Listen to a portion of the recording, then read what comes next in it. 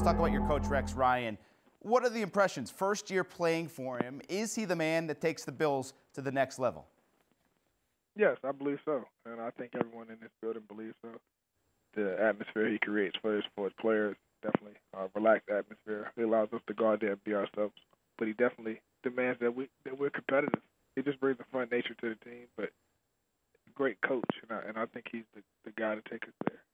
What do you think about the uh, the one year ultimatum kind of put on the team, especially on Rex Ryan? Ownership kind of uh, doesn't seem to be satisfied with eight and eight. Do you think it's fair with Rex only having one year under his belt in Buffalo to to to have that type of pressure on him, or does he deserve a little more time to kind of develop you guys?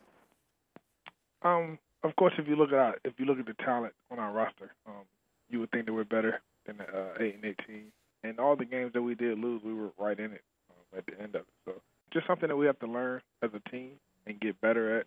It'll definitely come. Coach Coach Rex Ryan worked his butt off this uh, this season. We'll be better next year.